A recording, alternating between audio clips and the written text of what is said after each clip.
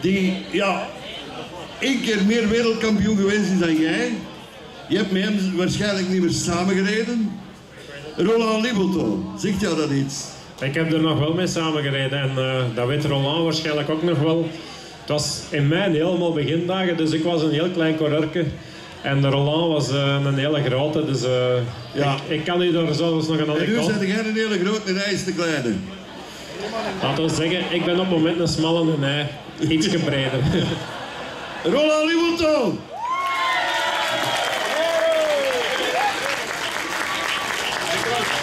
Erwin. Erwin, nog zo één. En Roland, zet, u even, zet u even uit. Zet u even bij. Nog zo één uit die periode. Was jouw eerste bondscoach. Hij is ooit wereldkampioen geworden bij de amateurs, maar hij draagt ons aller sympathie weg. Wie is dat? Bertje Vermeijren. Hè. Ik was uh, nog een hele kleine coureur, net zoals ik er juist zei. En uh, dat was mijn eerste begeleider, mijn eerste man die mij een beetje wegwijs heeft gemaakt in, in de crosswereld. En uh, daar ben ik hem natuurlijk nog altijd heel dankbaar voor. Dames en heren, de one and only, Bertje. Waar is Bertje?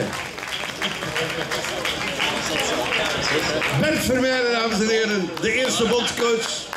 Bert erbij, staat erbij. En de derde Erwin uit die eerste periode. Ik zag jou op het podium staan als derde toen hij wereldkampioen geworden is in kokzijde. Ik weet niet of hem er is. Staat hem er? Is Paul hier? Wie was het? Paul Herreigers, denk ik. Ja, de Pollen. De Pollen, ik ben jarenlang uh, grote fan geweest van Paul. Hij, hij... Komt, ja, hij komt van de toog natuurlijk. Het is niet te geloven. Anderen staan hier een Paul van de toog. Dames en heren, commentator, ik keer wereldkampioen in kokzijde, the one and only, Polleke, Paul Herreigers.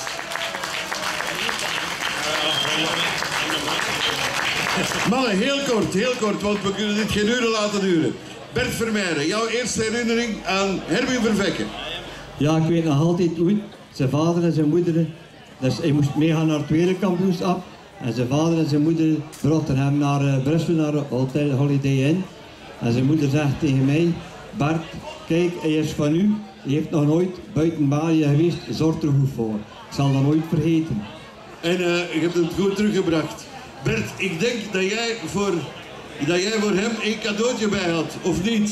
Hij heeft het al gekregen. Hij heeft het al gekregen, oké, okay, dat is al geregeld. Paul Reigers, welkom. Van waar kwam jij? Uh, achter het ongeluk, heb dat gezien hè? Dat is de camper, hè. Pintje drinken, uh, het goede leven. Jij en Erwin Vervekke, jij wordt wereldkampioen, hij wordt derde. Hij was coming. Uh, toen al, dus uh, op zeer jonge leeftijd, dus ja, ineens tussen de grote gesmeten en ja, met heel veel pinache zou ik zeggen. Dus onmiddellijk op het podium, eigenlijk niet meer gezien de laatste jaren.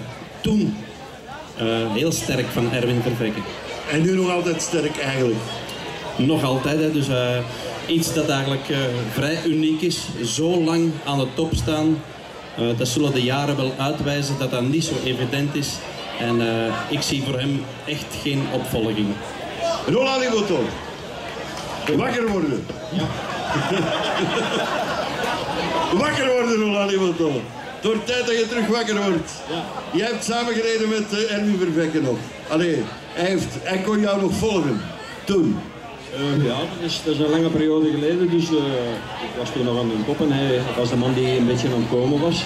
Maar ik heb toch, toch zijn carrière heel, heel goed gevolgd. En ik, heb, ik moet toch wel zeggen dat hij een paar keer mij serieus kippenvel geleverd heeft.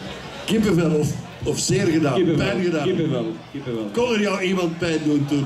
In die tijd niet zoveel, maar uh, na de carrière begint er dus terug een nieuwe leven en uh, Erwin zal dat nu wel beseffen. En uh, ik moet toch wel zeggen dat ik aan hem nog mooie momenten beleefd heb in de ja. bos. Roland, nog één vraag aan jou. Wat moet hij doen in zijn, in zijn beroepsleven nu? Want het stopt, het zwarte gat. Nee, nee, Heb jij het gat gezien? Ja, nee, nee, nee, nee, Je moet zorgen dat je dat niet ziet, maar ik, ik bedoel, uh, hij moet nu zeker een maand vakantie pakken en uh, even alles op een rijtje zetten en uh, voilà. dan ziet hij wel.